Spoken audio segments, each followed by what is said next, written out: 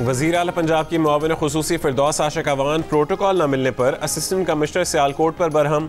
भरे बाज़ार में बरस पड़ी। कहा, रश में क्यों नहीं आई? मास्क पहने हुए असिस्टेंट कमिश्नर ने कहा कि बहुत रश है, इसलिए वो थोड़ा पीछे थी। फिरदौस आशा अवान ने तजीक आमेज लहजे में कहा कि आपको लगाया किसने है? असिस्टेंट कमिश्नर ने देखा कि फिरदौस आशा अवान कोई बात नहीं सुन रही तो पिंडाल से बाहर निकल गई।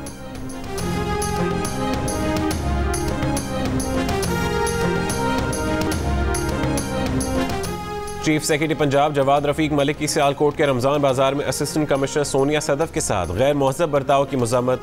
कहा, किसी को ये जेब नहीं देता कि वह सरकारी अफसरान की तजलील करें, अपने तहफात वजी अला पंजाब तक पहुँचाए।